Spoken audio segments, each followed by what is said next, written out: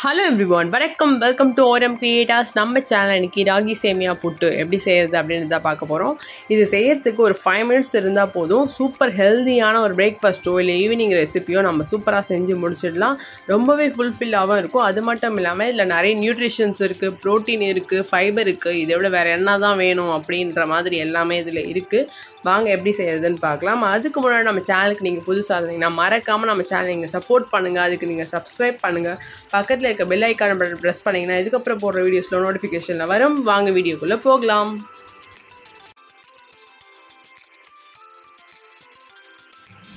ராகி சேமியா புட்டு எப்படி செய்கிறது அப்படின்றத பார்க்கலாம். ஃபஸ்ட்டு ஒரு பாத்திரம் எடுத்துக்கோங்க. இதில் ஒன் பேக்கெட் அளவுக்கு ராகி சேமியா எடுத்துக்கலாம். இந்த ராகி சேமியா வந்து எல்லா சூப்பர் மார்க்கெட்லேயுமே கிடைக்கும். இது தனித்தனியாக பிரித்து விட்டுடுங்க. இது ரொம்ப ட்ரையாக இருக்குது இல்லைங்களா? இதை வந்து இப்போ நம்ம கொஞ்சம் வெட் பண்ணணும். வெட் பண்ணுறதுக்கு என்ன பண்ணுறது அப்படின்னு பார்த்தீங்கன்னா வேறு ஒரு பாத்திரம் எடுத்துக்கோங்க. இந்த பாத்திரத்தில் இந்த சேமியாவுக்கு தேவையான அளவு உப்பு இதில் ஆட் பண்ணிக்கலாம். ஆட் பண்ணிவிட்டு இது லைட்டாக வாட்டர் ஆட் பண்ணிக்கோங்க. இந்த உப்பு நல்லா கரைச்சி விட்டுக்கோங்க இந்த வாட்டரில் இப்போ இந்த உப்பு தண்ணி ரெடி ஆகிடுச்சு இந்த உப்பு தண்ணி எதுக்கு அப்படின்னு பார்த்தீங்கன்னா இந்த சேமியாவில் நம்ம ஆட் பண்ண போகிறோம் ஒரு ஒன் மினிட் அளவுக்கு இந்த சேமியா வந்து இந்த உப்பு தண்ணியில் கொஞ்சம் ஊறட்டும். அதுக்கு நம்ம டைம் கொடுக்கணும். ரொம்ப தண்ணியை ஆட் பண்ண வேணாம். லைட்டாக ஆட் பண்ணால் போதும்.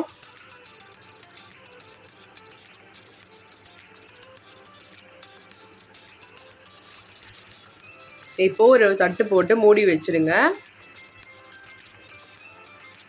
ஒரு ஒன் மினிட் அளவுக்கு இதுக்கு நம்ம டைம் கொடுத்தாலே போதும். ஒன் மினிட் ஆனதும் ஓப்பன் பண்ணி பார்க்கலாம். இது பாருங்கள் நல்லா ஊறி இருக்குது இப்போ இதை நம்ம நார்மலாக இட்லி செய்வோம் இல்லைங்களா? அந்த மாதிரி இட்லி பாத்திரமே எடுத்துக்கலாம்.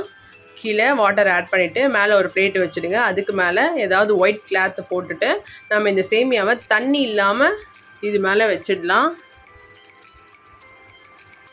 தண்ணி நல்லா தனியாக எடுத்துடுங்க. இந்த சேமியா மட்டும் இதுக்கு மேலே போட்டு இது இந்த துணியிலே க்ளோஸ் பண்ணிவிடுங்க இப்போ இதை ஸ்டவ்வில் வச்சு ஒரு ரெண்டு நிமிஷம் வெந்தாலே போதும். நம்ம ஆஃப் பண்ணிடலாம். ரெண்டு நிமிஷம் வரைக்கும் வேக விடுங்க. இப்போ அந்த டைமில் நம்ம தேங்காய் ஃப்ரெஷ்ஷான தேங்காய் எடுத்துக்கோங்க. ஃப்ரெஷ்ஷான தேங்காவை எடுத்து நல்லா திருகி வச்சுக்கோங்க. உங்களுக்கு எந்த அளவுக்கு குட்டி குட்டியாக வேணுமோ அந்த அளவுக்கு திருகி வச்சுக்கோங்க. இப்போ தேங்காய் ரெடி ஆகிடுச்சு இப்போ நம்ம ரெண்டு நிமிஷம் கழித்து இது ஓப்பன் பண்ணி பார்க்கலாம்.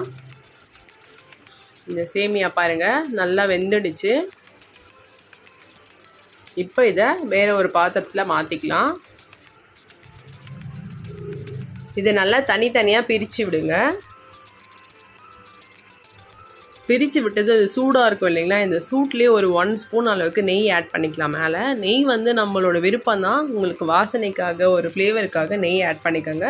திருக்குன தேங்காவை இதுக்கு மேலே ஆட் பண்ணிக்கலாம்.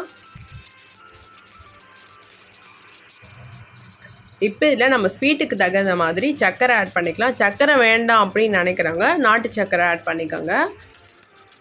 இப்போ வாசனைக்காக ஏலக்காய் எசன்ஸ் ஏலக்காய் இருந்து அதையும் இடித்து போட்டுக்கோங்க. நான் வந்து எசன்ஸ் தான் ஆட் பண்ணுறேன் இப்போ இது எல்லாமே சேர்த்து நல்லா மிக்ஸ் பண்ணி விடலாம்.